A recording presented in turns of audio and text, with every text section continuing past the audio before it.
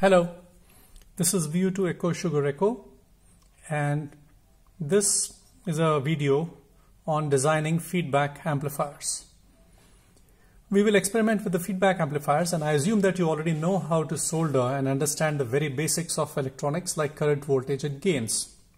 Now the feedback amplifiers are a very marvelous uh, but fairly simple uh, electronic circuit and the advantage over the regular amplifiers is that the gain is predictable.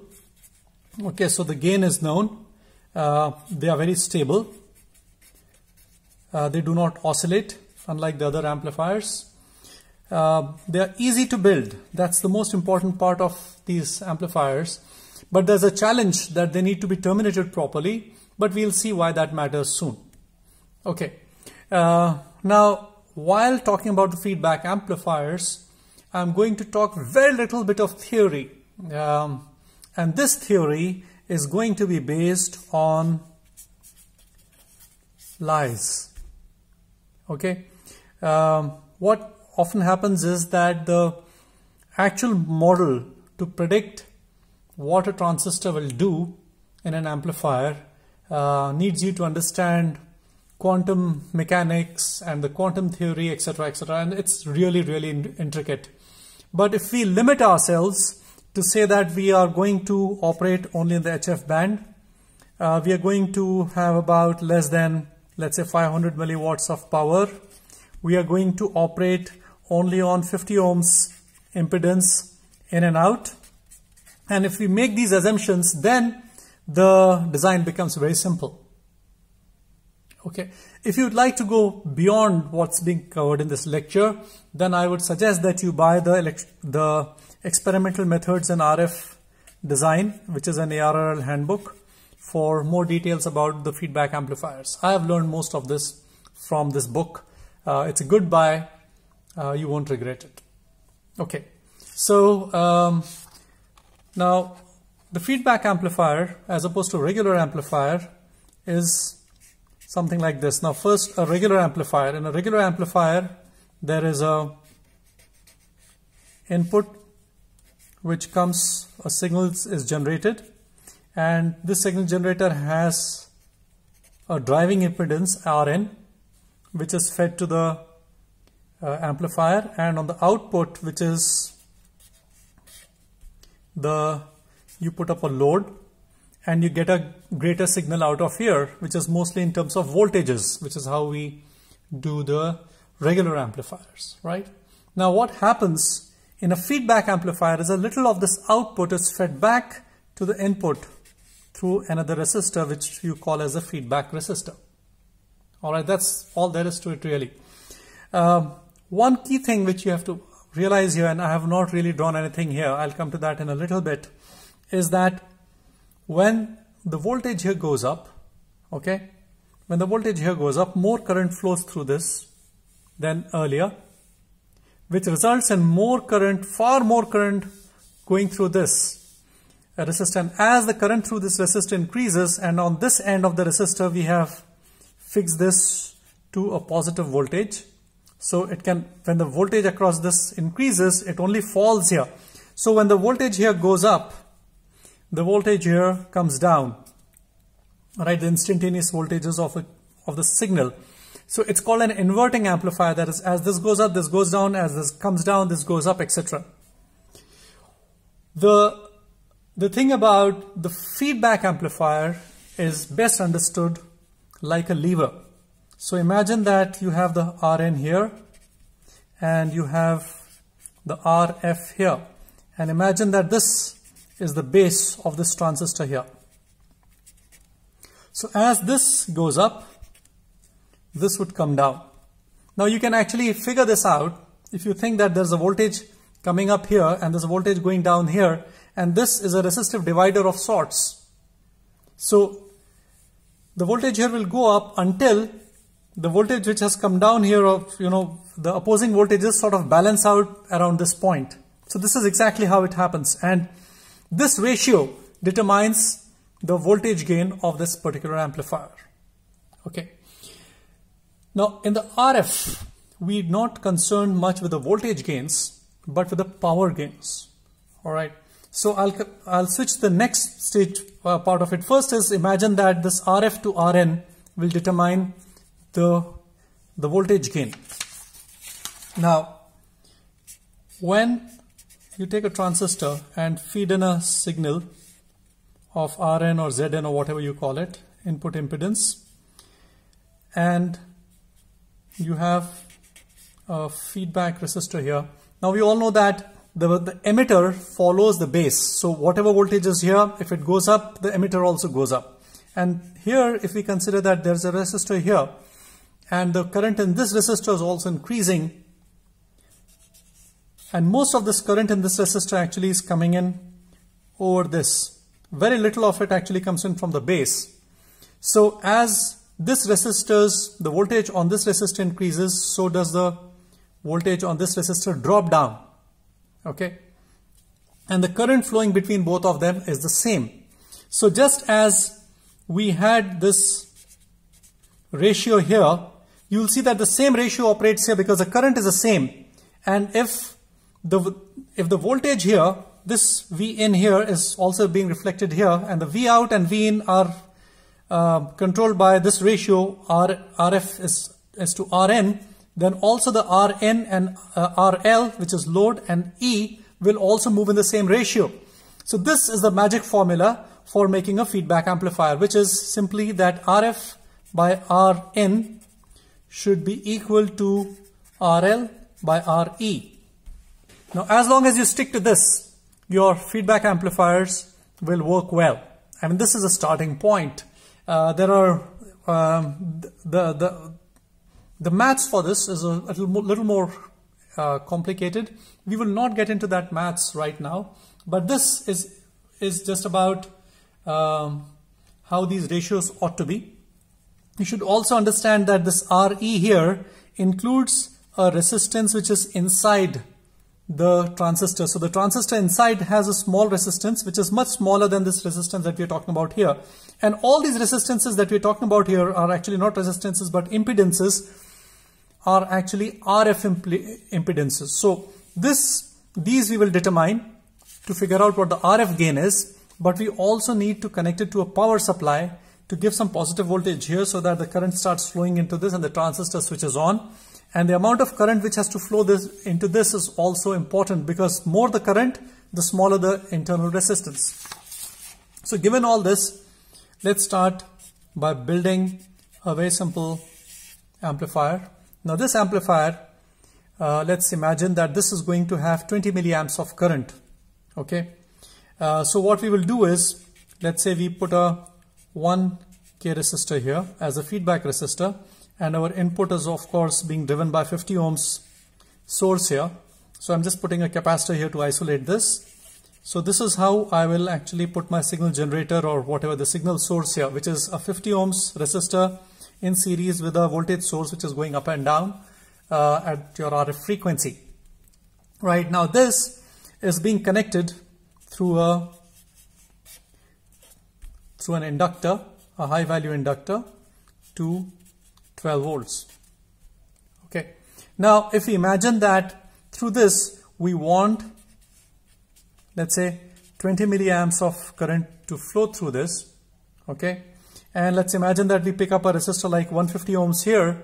So 150 ohms would actually mean that 150 into 0.2 is about 3 volts. So we will have about 3 volts of voltage here, which means that this volt, the between base and emitter, there's always half a volt difference, is going to be about 3.5 volts or let's say approximately 4 volts and which means if we put a 470 ohms resistor here, this 12 volts which is also coming up till here gets divided in 2 to 1 ratio and you get approximately 4 volts here. So this is a DC bias. However, in our design, we said that this 50 ohms to 1K ratio should also be maintained here so imagine that this is going to be connected to a 200 ohms load here. Okay, let's imagine that this is going to be connected to a 200 ohms load here. In which case, your 1000 to 50 ratio should also be matched by 200 to something else here, which is what this resistance ought to be, but this is already 150 ohms. So what we could do is this question mark here turns out to be 10, right? So that this is 1 to 20 and this is also 1 to 20. What this, this, uh, what this resistor should have been for RF purpose is about 10 ohms.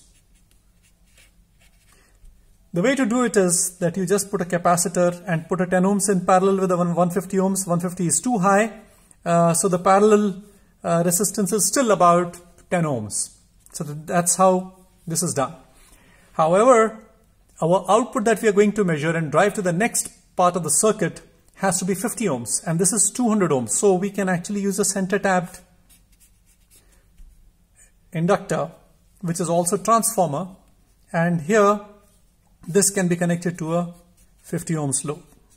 So this is our entire design of the feedback amplifier and this is how we have come to this design. I'll just repeat this once more that we have picked up a feedback value such that the ratio of the feedback to the input is same as that of the load to the emitter degeneration resistor as this is called.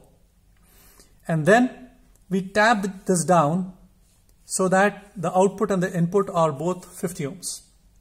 So this concludes a very basic and simple way of designing a feedback amplifier within the limits of this being a small transistor. We're just doing HF. For example, when we come to VHF, etc., you would imagine that there are small resistances here, that this uh, resistor here would probably also look like an inductor in series with this, etc., etc., and you might actually have capacitances between these two ends, etc. So, but we are not going to deal with those right now. We'll just deal with where we imagine that the resistor is only a resistor and its capacitance effect is minimal and its inductive um, effect of its leads are minimal, minimal etc. because we're dealing with HF. HF actually provides you with a very convenient sweet point at which you can experiment with RF but you're not too bothered with the vagaries of uh, resistors which act as inductors and wires that act as capacitors etc. So that's the that's the design part of it. Now what we are going to do here is that uh, I am going to introduce uh, this little uh, instrument. It's called Antuino, which I have designed, um, which is an RF lab of sorts in a box. You can homebrew this yourself, and I will tell you where to find the details about this. It's actually going to be available on my website, which is VU um, on VU2 ESE, which is my call sign.com. So in a day's time or two, I'll have this up about the Antuino. The Antuino can also be bought uh, ready built from HF Signals website. Okay, hfsignals.com. So you could also buy it from there. So these are the two sources. In case you would like to homebrew, you do this. In case you would like to buy it. Now I'll just show you what the Antuino does. So uh, I'm op I operate my Antuino on batteries. So as you can see that you when you press here you get a menu where you can set a frequency it's like a spectrum analyzer and you can set the central frequency which is set to about 13.96 right now uh, find out the span and on that span it will actually scan either SWR or it will um, find out the uh, or it will scan uh, an RF in or it can also do a sweep generator like a tracking generator, uh, like a spectrum analyzer with a tracking generator. One more thing which I did, and I've, I've, done this to my own hack, is that I have added a, I have added a voltmeter to this so that I can also check all the voltages uh, on the system itself. And now how we use this is something that we will find out as we go ahead with building the amplifier and after that testing it out. So let's start building the amplifier now. I'll switch this off for the time being. Uh, the way I build most of my stuff is that I just build this on simple copper clad boards and I just solder the components on top of this. This is the sort of system which was actually pioneered by Wes Hayward and Roger Hayward uh, when they built their ugly weekender transmitter. Now this system, although it looks ugly and um, uh, it doesn't look very beautiful to look at, which is why it's called ugly, it's actually uh, very convenient first, but more importantly, it is good from an RF perspective because this entire thing is, you know, your ground plane and all your connections directly go onto the ground without it having a sort of a lead or an inductance which leads to the ground, right? So all the connections are short and direct here. So we will build this with a, a 2N uh, 3904 transistor. That's the transistor that we will use and we'll build this here now. Okay. Uh, whenever I start to build an amplifier, I, I actually um, use the BNC connectors and I've standardized on BNC connectors. As you can see that even here, I've got this BNC lead. So I have actually pre-built about half a dozen of these cables with me, which I use at all times. So um, first thing which goes down is actually the two connectors on for the input and the output and the DC connector. So let's first put those in. So this on this side will be the input. I'm just putting a block of solder here and pressing this down. So this is now our RF input and then somewhere here I could, I could have put it in here but it's, it's too long I mean you know our circuit is much smaller than that so about here is where I will connect another of the BNC connectors. And what I do here if you see here is that these BNC connectors are pre-soldered with these 0.1 microfarad capacitors. 0.1 microfarad capacitors are the most often used component uh, in a homebrewer's lab for uh, HF work. And I have a large box of about 500 to 1000 of them which I've bought in surplus and I keep them with me. So now the way the ugly is built is you first solder down the components which have to go into the ground and then mount the rest of the components on top of that. So there's a 150 ohms resistor here which I'll have to put down. Let me just see if I have a 150 ohms resistor lying somewhere or I'll have to pull that pull it out of the resistor box probably easier to just pull it out. Uh, in my box, I usually keep um, just a few values of resistors and when I need some other odd value, uh, I just parallel or serial uh, or serially connect the resistors to get them. But I do get by with very few values really. Um, so I have uh, here in my box 5 ohms, 10 ohms, 22 ohms, 100 ohms, 220, 470 ohms, 1K, 2.2K, 4.7K, 10K, and 100K. Those are the values that I you know, usually work with. Okay, so first what I'm going to do is I'm going to put this 150 ohms, uh, the 10 ohms and the 470 ohms in here. And uh,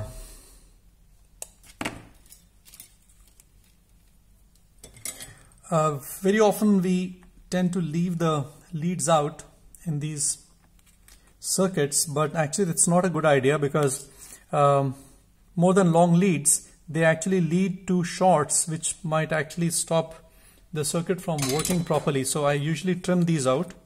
Uh, and these actually become very useful, these pigtails of sorts, you know, one always makes use of. So the 150 ohms has gone in, a 10 ohms will come next to that, this one. So I'm going to put that in as well now So that's the 10 ohm here so the 10 ohm has gone in right okay we have the 10 ohms here. Then we also have a capacitor between these two which is a 0.1 ohm capacitor. Let me just pull out a couple of these 0.1s here so that I can just keep using them one after the other.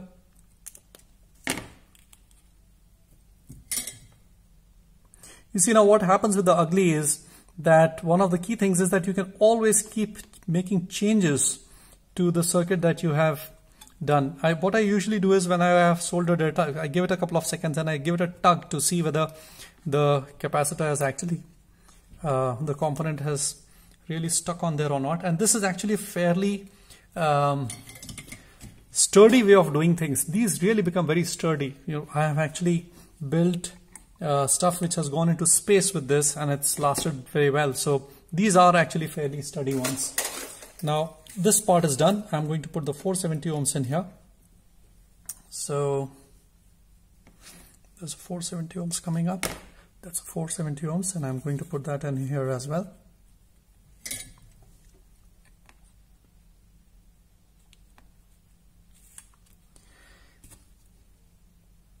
There's your 470 ohms.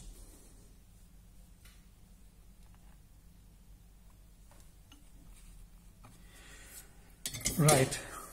now we'll put in the transistor itself, which is the uh, 2N3907. I don't know whether you can read it here, but these days, uh, when you know some of these component values are actually too um, too uh, small for me to see, I I take a picture of it on my phone, and I'm recording this also on the phone, and then enlarge it to see what's written there.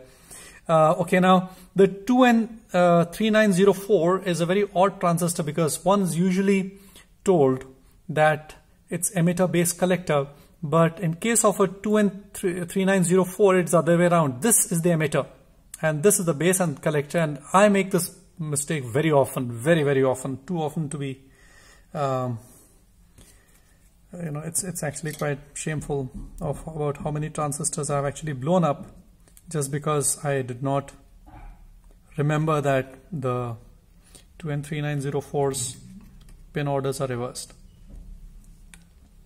See this is okay yeah it's sort of stuck all right but not really very well uh, and then the base goes in here. The good thing about the ugly is that it's so easy to bend things all around and solder them up. And you know yet it, it, it works very well RF wise RF wise is absolutely no problem at all. Right? So actually um, for for the feedback amplifiers the thing is that the feedback this resistor basically hangs between two leads of the transistor which is why it's always good to first put down a base uh, transistor there and then put the feedback which is the 1k resistor between these two like that so that's what we're going to do, do now so that the resistor can actually hang on to one side.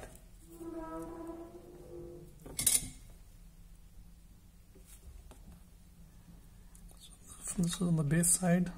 I'm actually now in reverse here, reverse direction, and I need to just pull this in together here. Yeah, that way.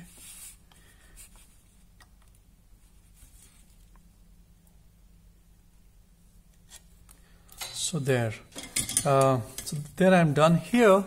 I just have to add this that, you know, it's always good to decouple this. It's very important to decouple this.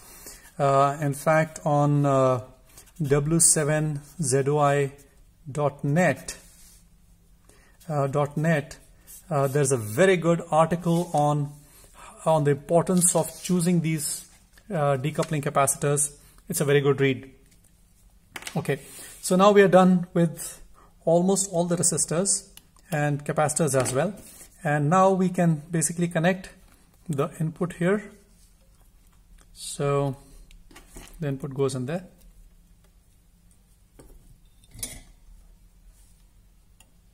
Too much of glare there and I can't see this thing properly anyway.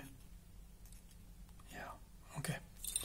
And this is I actually uh, whenever I have spare time I build a lot of these um, tri trifilar wound uh, transformers together because they actually take a lot of time to build.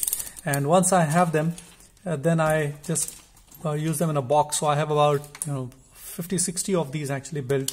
And some of them are actually from the HF signals production runs. But nevertheless I always tend to test them out once. So yeah these are one side and this is the secondary winding this time that I'm not going to use. So I'm just going to use this side. There is a, there's another winding here which we are not going to use. So it's just these three on this side. I've just pulled them out onto the side so that you can see this. Um, so I solder this. This end has been soldered. Now the other end I'll have to solder now. And what I'm going to do is I'm also going to attach the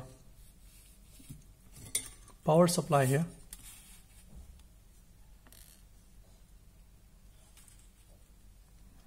So the power is coming up here.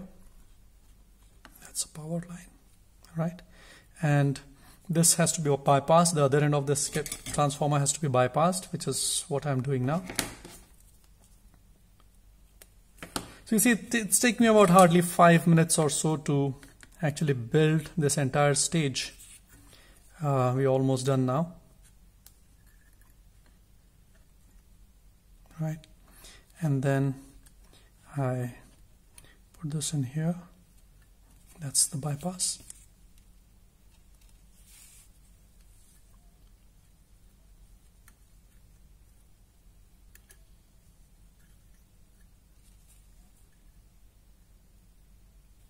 Yeah that seems to be fine uh, now finally the trans uh, resistor has to go in from here to the positive which is another 10 ohms resistor.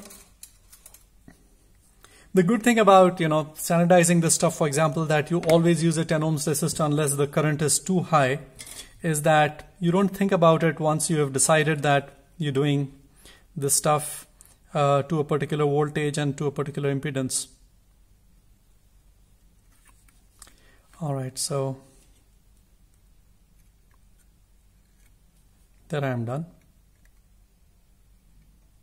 Yeah that seems to be working as well.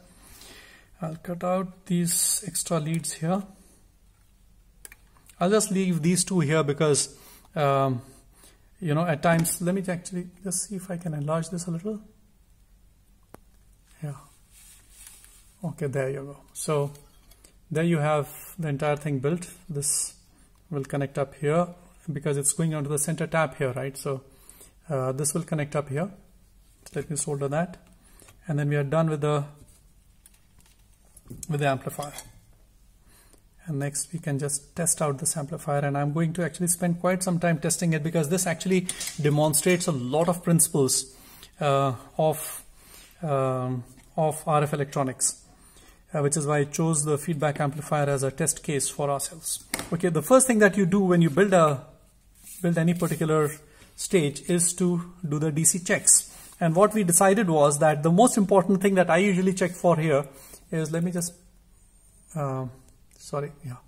The most important thing that I, I figured uh, when you build an amplifier is to test the voltage on the emitter, the DC voltage on the emitter, because you know what this resistor is. And if this voltage here is coming properly, it means that the bias is proper and that the uh, the bias voltage and current of the transistor are proper. So that's actually one uh, neat way of doing that. So now we will kick in with our Antuino. All right, I switch this on and I go to the, I'm using this basically as a multimeter right now and this VTVM is the one that is going to show me and what I do is that with my regular uh, multimeter also I actually have an extra pair of uh, leads in which uh, the negative is connected with an alligator clip which I can plug in here so that I don't have to use two hands to hold this. And I've actually fashioned the positive probe of this multimeter made out of this Arduino which is inside it with a ball pen nib here. And I'm going to now power this up. Is it showing? Okay. So there we go. Okay.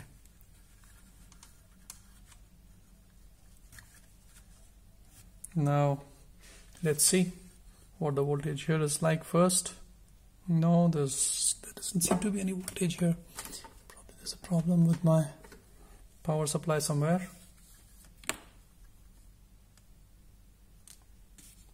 Let me check here. No, there doesn't seem to be any voltage here at all. Okay, let me just try another power supply line. All right. So here I'll check this and see that we have 12.14 volts here. The most important thing is here. So let's just see how much that is going here. So it's about 3.192 volts, almost the predicted voltage.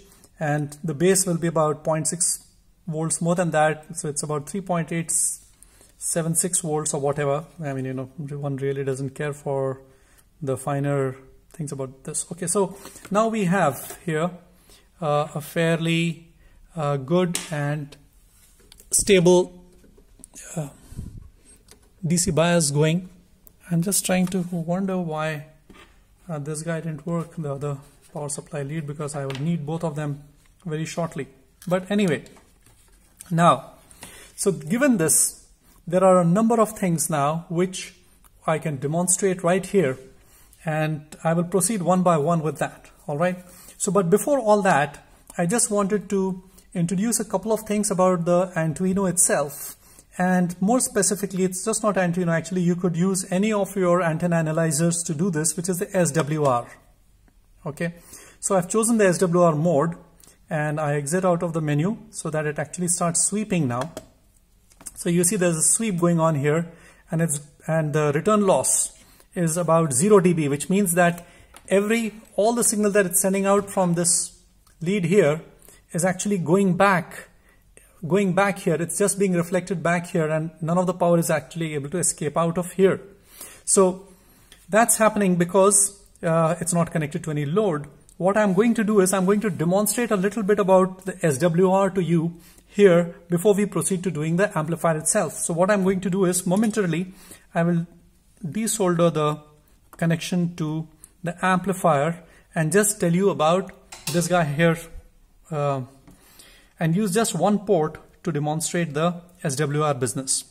I'm just going to put a small dot of solder here and in my arsenal of various things that I do, the most important is this resistor. So they're basically 200 ohms resistors in parallel. It gives me 50 ohms here. So I'm just going to solder it here to demonstrate how the SWR works. It's actually very illuminating to do this test even on a regular SWR uh, meter or if you have the nano VNA or whatever, right? So I'm now going to connect this. Uh, this is the RF in here. The RF in here is being connected in here and as you can see the the return loss is still 0 dB. That is everything that we are giving is coming back. And the moment I touch this here you will see that it has gone down to 37 dB there right? And the SWR has jumped to 1 which means that it's a perfect match and all this all the power coming in from here is being absorbed by this resistor. Now if I take this off okay uh, Uh, the SWR is back to 99 and the return loss is 0 dB. Now if I actually use another resistor, for example, a 100 ohms resistor, in play, in, instead of that, I'll just use a regular 100 ohms resistor, which is about twice the impedance of this. Now let's see what happens. So I will just momentarily solder this here, right? It's 100 ohms. And when I connect this in here, right? Uh, let me actually, okay, there. So you will see that, sorry, yeah. Let me actually solder this up.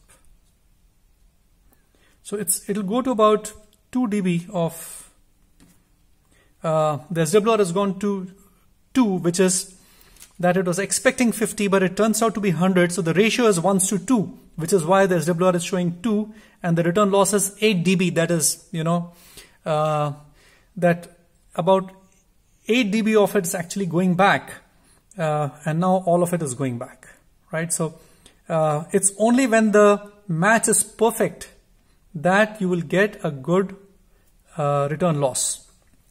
This is very important even for an amplifier because more often than not, there's a question asked about what is the impedance of this amplifier, input or output, and that's actually one of the key things that we will see right now. But before that, uh, uh, by the way, there is something very interesting. Uh, uh let me actually take a break and talk about this as well. So you've seen that, for example, this is a 50 ohms load, and if I connect this 50 ohms load here, right, and I connected in here like that. So uh, there's a full loss. But what happens if I connect something um, and, and the losses all, all, way, all across the spectrum, right? But what happens if I connect something to this which uh, has reactance, which means, for example, something like this guy. Okay, so this is a uh, this is a 12 megahertz crystal. So if I put this 12 megahertz crystal here, okay, and connect it back to the 50 ohms here. Now, I mean, actually, it's not soldered in properly. No. My problem is that I run my soldering iron a little hotter than usual. Uh, for than is usual. That is not at 360 degrees, but at uh, 410 degrees Celsius. So actually, um, a lot of times, if you do not hold the component steady, it doesn't get soldered properly but on the other hand it actually solders very quickly. So you see that there's return loss here. But if I actually go down to uh, about 14.3 uh, oh this is a 12 I'm so sorry. This is a 12 megahertz crystal. So let me just go back to 12 uh, 12 12 12 okay I've dialed in 12 here press again say okay so you see that small blip here. You see that small blip here, right? That's actually showing you that uh, the return loss has actually uh, dipped down to about you know 1 dB there. But what I can do is if I just hold on to this here for a while, this will actually jump exactly to that frequency there. And I will actually uh, zoom in to about 10K. Now let's see actually what this shows. So you see here, now there is actually a dip here and the dip is actually fairly significant. It's almost giving you an almost ones to one SWR because at that frequency, the RF energy is going from here and getting absorbed by the 50 ohms. But that's not what's happening around here. So what you're seeing here is a dip and the better the quality of the crystal, the deeper is the dip going to be. So you can actually measure the Q of tuned circuits by just looking at the SWR which it generates when you've put it in series with a 50 ohms resistor. You know, this was just an aside, but I thought it was an interesting experiment for us to do. Okay, now the other thing is this, that in a lot of these instruments, you have to be very careful about what their, uh, what their uh, limitations are. So here, uh, with this, if you see that the uppermost line here is about minus 10 dB. And this guy here, the RF out, when we put it into this mode, is also about minus 10 dB. So once it amplifies and it gives you a greater signal, that signal is going to get, uh, it's going to completely overload this instrument. So you need to put an attenuator in place on the output in order to measure this. So I have actually fashioned a small attenuator here. This is actually very interesting. So this is 50 ohms, 50 ohms, and there's a 2.2K. So uh, very simply, this is a 39 dB attenuator. There is 50 ohms, 50 ohms. This should have been actually 51 ohms, but this is all I had. And this is about 2.2K. Okay, so this is a 39 dB um, attenuator, which I'll actually add here so that this instrument does not get uh, overloaded. And whatever measurement we are going to make for the output, we have to remember that we have to add another 39 dB to it while, while, we are doing the absolute measurements. So I let me put the 39 dB attenuator here. Now if you actually see this and the ease with which I'm able to uh, take these decisions to put attenuator on and take stuff out and you know in the meantime go and do something else interesting this is all possible only when you're building things in the ugly way and it's really not possible if you had a PCB to uh, build things with. Okay, now I've put the attenuator in and I am going to add the output of the RF amplifier to the attenuator. Okay.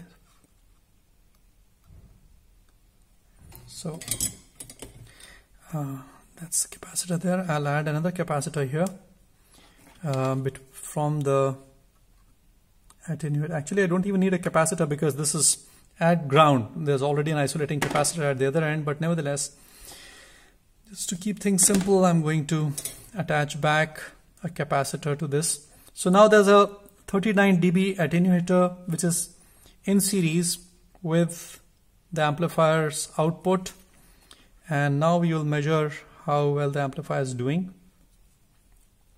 Okay, so there we go. Right, and what we do now is we take this input, plug it in here, and the output is here. And now you see that uh, this is at about minus 65 dBm. So if I actually take this out the output is going to fall right? So it's fallen to 103 dB. And if I actually put this back on it's gone to minus 65 dBm. So let me actually put on a fresh sheet of paper because we'll have to be doing a lot of writing work now. So we are measuring about minus 65 dBm even before we have switched this on uh, so this is minus 65 plus 39 dB because this is a pad so uh, this is about minus 45 minus 46 dBm. So the minus 10 dB which is coming in from here, okay, is turning out to be about minus 46 dBm here. So there is about a 36 dB. Uh, so the minus 10 dB dBm has actually become here, uh, sorry, uh, minus 26, 26, minus 26 dBm. So uh, there is a minus 16 dB isolation from here to there. So up the, the, the signal which is leaking in here, even when this amplifier is not on, is about minus 60 dB. So it's right now acting as an attenuator. And now we will plug in the power supply and then we will see how it jumps up. Okay, so here we go. There. So now it's gone up to minus 32 dBm. So it's minus 32 dBm uh, is what is going gone up. You'll have to add plus 39 to this.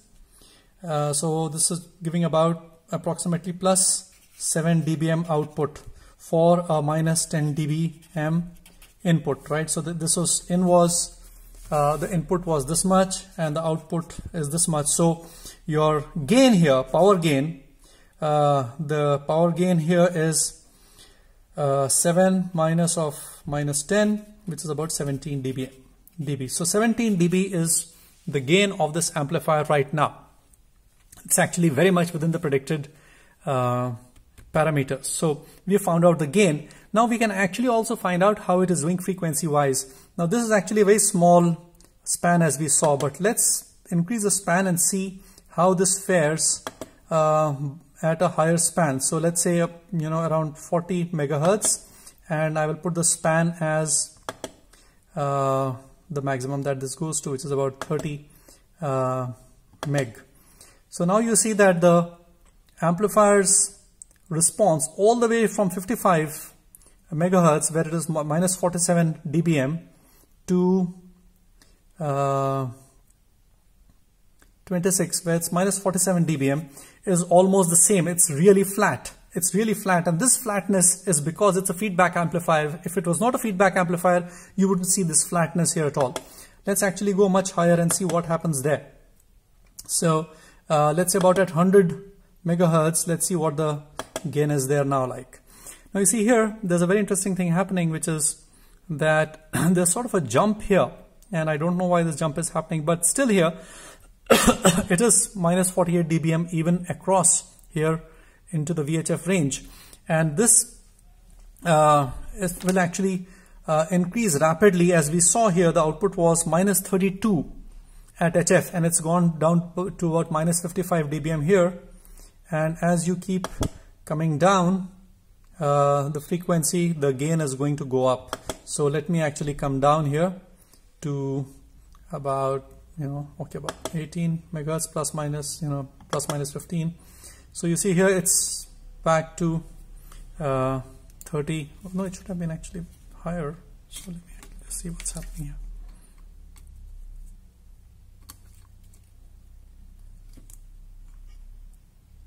Okay. So um, now next thing that we will find out is the input and output impedances of this particular circuit. So let me do that now. So uh, we expect, we were saying, that uh, that this here is at 50 ohms. So is it actually at 50 ohms? We'll figure out. So what we will do is very simply we'll connect the RF in here, but this time what we are going to do is we are going to measure the SWR, right? And we'll go back to our uh, frequency of choice, which is around 14, uh, 13 megahertz. Then we know, just step up a little more. No, sorry, uh, step up to about 14 here. So I'll say OK now. And let me actually decrease the span. The span is actually very huge, so that should be actually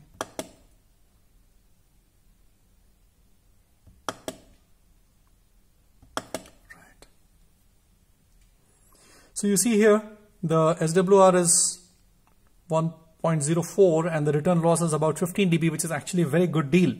But I'll, now there is something very interesting about the feedback amplifiers and I had hinted about this earlier, which is that the input impedance here depends on the output impedance. So what I'm going to do is I'm going to take this pad away. Now this pad actually provides a very strong 50 ohms impedance termination because there's a 50 ohms resistor right here at the, at the, at the input of the pad itself. So if I take this out, watch this guy jump. So here you'll see that the SWR has gone up to 3 and the return loss is just 5 dB. It's a bad match.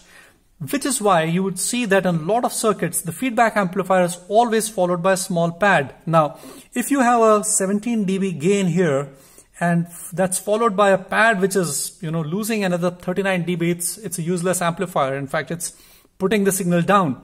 On the other hand, if you have a smaller pad of about 6 dB here, so even then 17 dB minus 6, you still have 11 dB of useful gain. But the most important thing there is that the input impedance is then back with a very robust uh, match here, which means that if you follow this up with a crystal filter and the crystal filter needs a 50 ohms termination here, that would not happen unless you have put a pad here or there's a resistor in the in the in the collector's load instead of a coil which gives a solid uh, and a definite impedance. So this is actually one of the key things which you have to understand about most of the amplifiers, which is that the amplifier's impedance, when they say that it's a particular impedance, it's, it's not guaranteed to be that. And in this case, we saw that the input impedance is being controlled uh, and varying by the output load. And this actually is a direct result of those two ratios that we were talking about, where we have, were now changing the RL here by taking this out. The RL had become infinite. So that's why this thing was being reflected here. So uh, the, the the key thing about the feedback amplifier is that the termination has to be very good. Okay, now how do you measure the output termination? The output termination measuring is actually not very different from the way you measure the input termination, which is here again, which is you actually, okay, what I'm going to do is I'm going to now take the pad out because the pad will always provide a good termination. And I just take this pad out of the circuit and I'm just going to solder these two capacitors together so that the output is now directly connected here to right? So the output is now directly connected here. The pad is actually out of it there. I have moved the pad out as well. So I'm going to connect this here and I'm going to power this on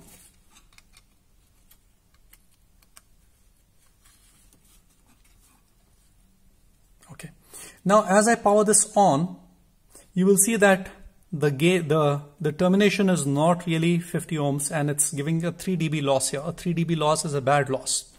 This is happening because you do not have a good and strong termination at this end either. So what we will have to do is to terminate it properly, I use this 50 ohms load here and I connect it to the input of the amplifier this time. Oops my god something is burning up. Oh all right sorry sorry. I'm shorting these circuits here badly. I can actually smell the resistor which has burnt up there. That's okay. We're almost done with this. So there's a 50 ohms here right? And now watch this. This is 3 dB here. And if I actually short this back here oops it's not coming in here. I have to okay so the moment I actually connect this 50 ohms termination at the input you see that return loss has gone up to 14 dB and my match is almost perfect at the SWR being 1. So this is happening here because uh, the output termination impedance is now perfectly matched provided the input impedance was perfectly matched. So this is actually the big takeaway of feedback amplifiers that you have to see to it that the impedances on either of the sides is perfectly matched. And one way of doing that really is by putting an attenuation pad at the output of the resistor uh, of the amplifier. If you put it at the input of the amplifier, what's going to happen is that the signal which is coming in will drop in its level and the noise signal to noise ratio is going to go up. So it's always better to put this at the output of the amplifier. Right. Now, let me actually go back to measuring power here for a second. Uh, and there's something else that we need to now measure, which is the distortion. And for distortion, I will actually introduce another uh,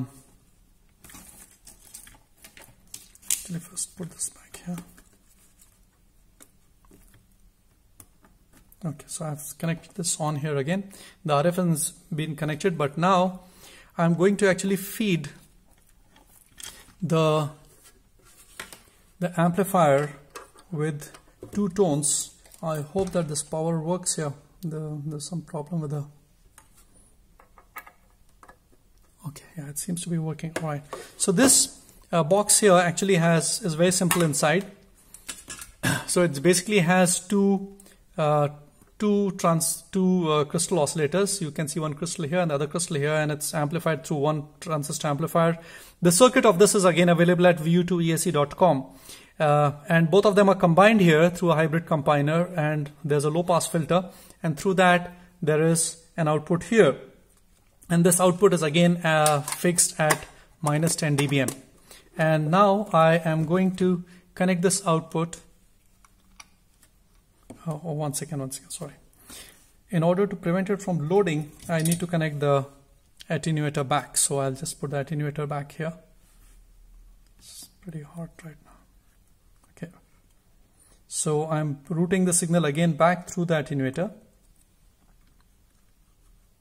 There. Done. Uh, and then I will connect this two-tone signal generator which is here in my box here. I'll just keep it here and I will power on my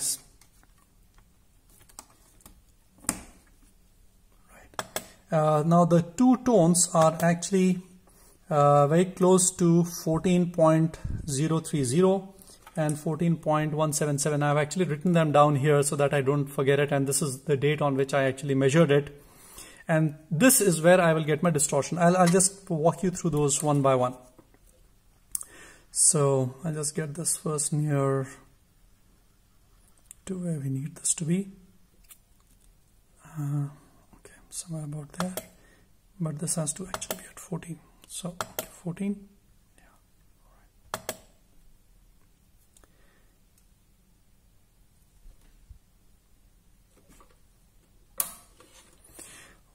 okay so here what we will do is I'll make this up to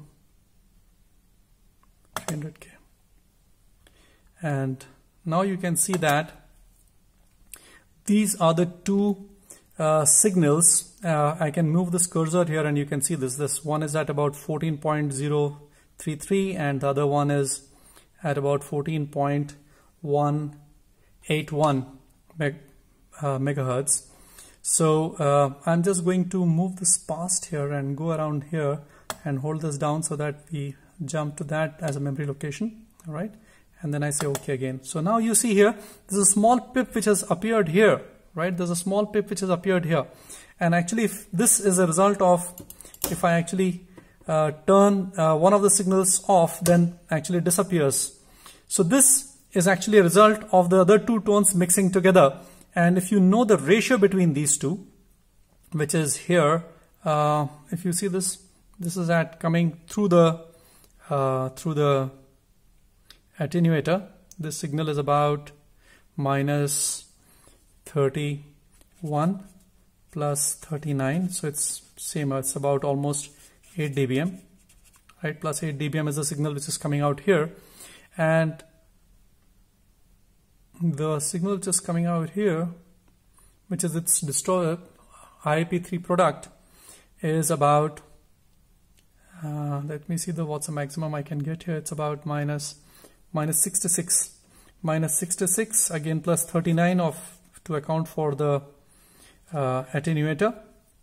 So this is about mm, 26, uh, 24, 20, yeah, it's about minus 25 dB. So that's the difference between these two signals, right? So this was at uh, minus 31 and this is at minus 66. No, sorry, this is actually going to be more. Uh, 31 to 66 is about 35, 35 dB. Actually, 35 dB is the difference between the two signals. And uh, so the, I'm sorry, uh, I'm messing this up. Wait. So we saw that the signal was minus 31 dB M, the main signal, and this signal is minus 66 dBm. So the difference between these two is about 35 dB.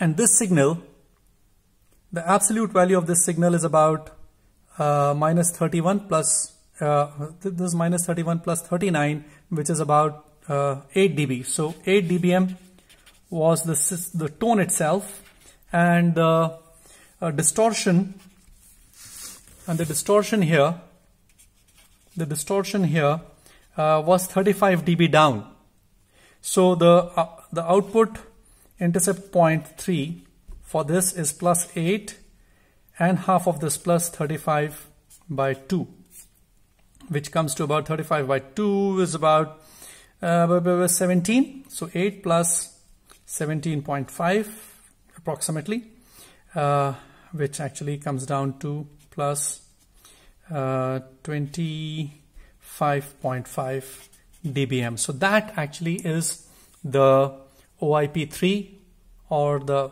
uh, OIP3 of this amplifier. And to know the IIP3, uh, all you have to do is uh, subtract the gain from it and we know that the gain is actually about 17 dB. So the IIP3 is equal to 25.5 minus 17 and that's approximately about plus uh, whatever about 8 dBm. So that's the IIP3. So this is uh, with this we have actually characterized all about almost everything to do with this amplifier and we know exactly how it works. If you drop it into a circuit, whether it's a transmitter or a receiver, we know how it will operate and we'll be able to judge uh, how the distortion products are going to be, how much gain there is going to be, and how good the match is between the circuits which follow it and the circuits which precede it. I hope that this, uh, although exhaustive and intense, but nevertheless, this was a fun video. And uh, the key thing really here is that I am now completely addicted to the Antuino. Um, this is a plug. Uh, we sell this stuff for $100 on hfsignals.com, but I really encourage you to build this yourself. It's a very simple circuit with about, you know, it's based on an uh, Arduino, uh, an SI5351, which you can buy separately from Hans QRP Labs, and just about, I think, another two transistors. That's all. So it's a very simple circuit inside. We'll uh, deal with the other um, uses of Antuino later. But for now, uh, 73 and have a great time.